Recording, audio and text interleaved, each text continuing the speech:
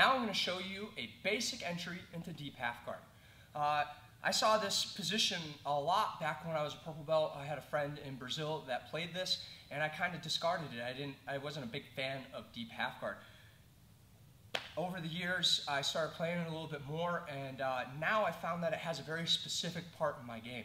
Okay, I am a, a, long lever. I'm a big guy, and the way that I enter into it and the way that I play it is going to be different than some of the uh, competitive smaller players out there.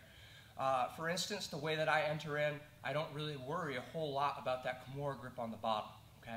You're gonna see a lot of people hide that hand, and I'm not gonna play that way. I'm gonna show a series of sweeps uh, and transitions off of deep half guard, uh, and mine are gonna come from a different mindset. I, I recommend that you try it out and see what kind of success you have with it, and then, you know, email me, okay?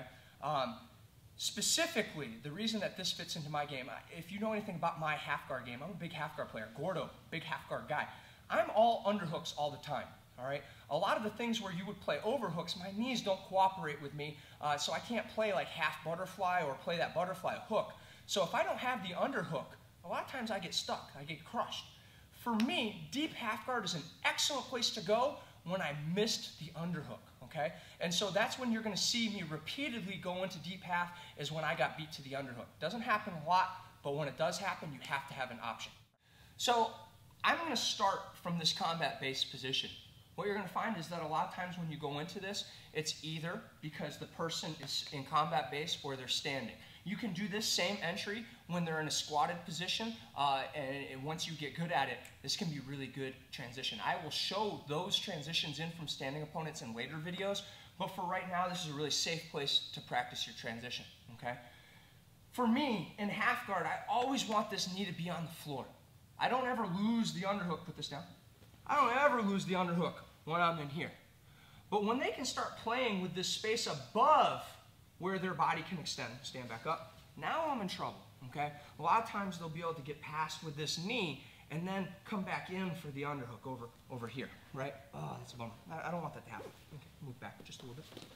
So, the dynamics here, okay, is I'm gonna straighten my leg. When I straighten my leg, I have a long lever. You, have, you can build a lot more momentum with a long lever than you can with, with, a, with a short one. We don't want it bent. I don't want you to kick this leg out. I want it to be totally straight. The turning of that leg all the way out and my hip turning over is what's going to scoop this, okay? So I did say that he started to beat me to the underhook oh, freeze. This is where I know I'm not going to repummel here when he's tight with that elbow. That opportunity is gone. This is deep half guard right here, okay? So my spare hand is going to go knuckles out on the thigh. We'll see it in a couple different angles. And then I'm going to kick my leg straight. When I kick my leg straight, I'm going to allow my leg to carry all the way around. Doesn't bend, guys. Straight, all the way around until I can get this knee all the way on top. Now you can see that I'm squeezing here and my elbow comes in, my top hand comes pinky on the top of that kneecap, my fingers go out on the top of that quad, and then I'm gonna roll that leg out. Now, I can't get lazy with my neck. I ultimately don't want them to step over my head it's not necessarily a really terrible thing if it happens, but we don't really want to deal with that. So from here, I'm going to squeeze, okay, my legs. I'm going to stretch my feet away, and I'm going to extend my neck. You see how my head is up here on the thigh. Now, when I want to start moving his body, it becomes nice and easy. I know there are a lot of people that really emphasize hiding this, okay? I know a lot of people that emphasize in getting one of these hooks or getting this hook right here, and those things are good. That's just not the way that I play deep half guard, okay? I squeeze with my thighs. Granted, I have very strong thighs. I control at the top of the calf, or excuse me, at the top of the uh, kneecap, and my other hand comes here, and you can see that I tuck my elbow in. If you get lazy with this elbow, sometimes that can be problems, but there's no way this arm is gonna get Kimured while your elbow's on the floor. Do you feel like you can come over here? Now, where people screw up is they come right here. This is where that Kimura comes in.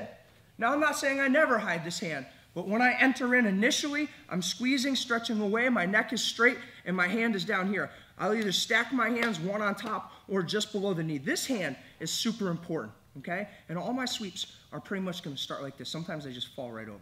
All right, so I was in here, he started to move forward, boom, this is where I know I'm getting beat. Maybe I could repummel, but maybe his body's turned too much knuckles on the back of the thigh, right? Look, oh man, I'm even holding onto the tricep on the outside. I'm gonna straighten that leg. I'm gonna turn my legs all the way over. stretch that leg away, nice and tight, here. So I'm in here, he started to beat me, my forefingers came in, I'm straightening that leg all the way around. Now watch, I squeeze, I stretch, and my hand comes here. Now there's, you know, all of our sweeps are gonna come from this area. This is the angle. This is where you get to see what my leg does. Super important, ladies and gentlemen, okay? Even without the entry, I'm just gonna show you. Look at how it straightens, hooking, all the way in. With that momentum, it's gonna be almost impossible to lose this leg. Again, I straighten, look at how it's caught on the back of my leg here. Here. It may look like they just can lift their leg up. It is gonna be tough, ladies and gentlemen. So I'm here, he started beating me in, right? I'm grabbing that tricep, boom, straightening, turning, control. All right? Hand to the inside, here. I am stretching my legs away, right? Coming in, four fingers, right? My knuckles turn just a little bit. Just like this, right? Straight, I'm hooking on the tricep with my outside hand. I'm gonna turn, watch how I use that arm to pull myself under, hand all the way up here to the knee. I know, turn, good. I know a lot of people will teach to control on this belt around the outside. I don't do that, okay? I control here. If somebody starts getting to be a problem, I'll dig my heels into the floor and I'm gonna scoop my hips out and squeeze my thighs together. I am not lifting. This is good. This is somebody else's game. This isn't my game. Okay, I'm here. Come back up. So he's here, right? I need to make sure that this stays straight. If you need to gable grip, that's okay, and move your pelvis out towards the heel. Back off. That's just my entry, okay? But it's important that we understand how I'm entering in, and then we're gonna look at a bunch of different options off of that, okay?